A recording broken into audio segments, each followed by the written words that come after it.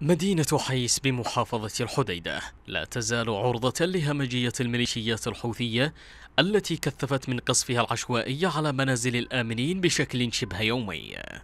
معظم المنازل بطول المدينة نالها قسط وافر من ويلات القصف إذ تكاد تجد في كل بيت مأساة آخرها جريمة ارتكبت بحق رجل وزوجته.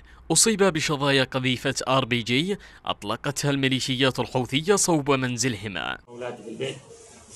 آمنين فجاء رفيقي طرح فوق الجو فوق البيت. وزعت شظايا بيني وبين ابني الصغير هذا وزوجتي. وعلى طول أدركت على إنه في نزيف في بطني وفي رجلي.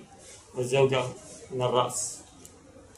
على طول أشوف الشباب ما شاء الله تبارك الله أسعفهم على طول المستشفى المواطنون في حييس يعيشون حالة من الخوف والفزع جراء القصف العشوائي على المدينة من قبل العناصر الإرهابية حيث يعتبر الأطفال هم الضحية الأولى للقصف الحوثي على المدنيين. لم تكتف الميليشيات الحوثية باستهداف المدنيين فحسب بل أنها استهدفت المساجد والمدارس والمستشفيات والمنشآت الحيوية لتتجلى حقيقة هذه العصابة يوم بعد آخر. ومدى الحقد الذي تحمله لأبناء اليمن.